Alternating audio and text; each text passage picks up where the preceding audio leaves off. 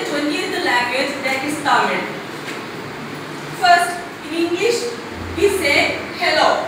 In Tamil, we say vanakkam.